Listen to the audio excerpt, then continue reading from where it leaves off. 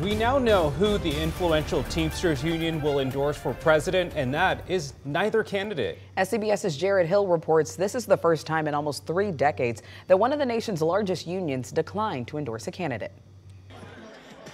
Amid heightened security, yesterday, former President Donald Trump rallied on Long Island, a must win district for House Republicans in a deeply blue state. We can win New York. Trump vowed to reverse a cap on the state and local tax deduction known as SALT, a cap he created with his 2017 tax cuts law. The former president also promised to visit two cities in Ohio and Colorado, claiming they're under siege by migrants. They're destroying our country. We're getting them out. In Washington, Vice President Kamala Harris slammed Trump's immigration proposals at an event for the Congressional Hispanic Caucus Institute. They have pledged to carry out the largest deportation, a mass deportation in American history. How's that going to happen? Massive raids? In a possible blow to the Harris campaign, for the first time since 1996, the Teamsters Union declined to endorse the Democratic presidential nominee, choosing instead to endorse neither candidate. The union released internal polling showing more members support Trump. It's a great honor. They're